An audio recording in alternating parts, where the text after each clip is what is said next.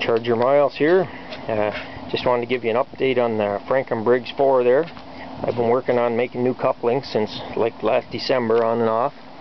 Whenever I can get time to go to machine shop and accessibility, all that. Anyway, uh, just to review here the problem I had. Uh, when we had it running, we had uh, these type of uh, couplings on it there with the rubber between them. And uh, it split the one here off of the back of number one cylinder.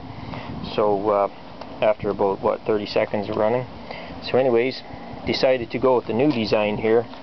It's a piece of uh, you know, call it UHMW plastic. It's almost like your crazy carpet plastic or something, but uh, uh, fairly slippery, but you know it's got some strength too. And then uh, machine steel um, shaft on each side, basically. So uh, we'll just go over a little bit, and to drive it, we put a set screw machined uh, halfway between the shaft and the uh, collar or whatever you want to call it there. You can you can see it in the end of this one here. Uh, threads in there. Had to do that on a mill. That that was uh, an interesting operation, setting the engine up. But anyways, new couplings here. Um, we have uh, countersunk head um, bolts, two of them, so these bolts in here attach to the, the, the far uh, collar here through the UHMW and then there's two similar ones coming uh, here and here. So the plastic's the only thing that drives it in between. There's no uh, mechanical connection between the two shafts. Although the plastic, it's you know it's not near as soft as rubber is.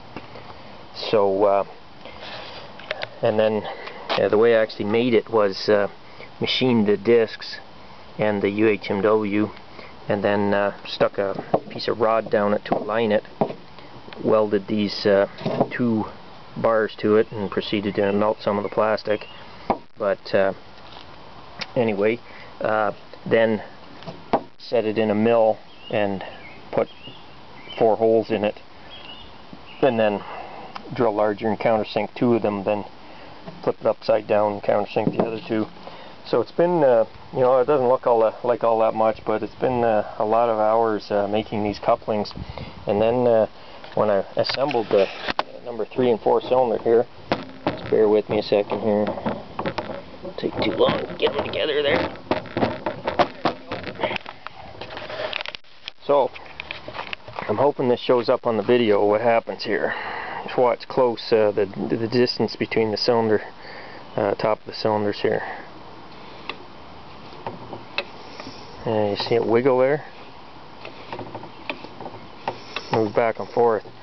So what that's telling me is that the end of number 4 crankshaft appears to be warped. So uh, that's uh, causing me some uh, grief there. Uh, I think the way to solve it is to machine the face of this disc uh, since I've measured and uh, the disc itself is uh, true to oh, about half a thousandth of an inch. I had to sand it to get it that way. Uh, when I welded it, it swelled up in a few places.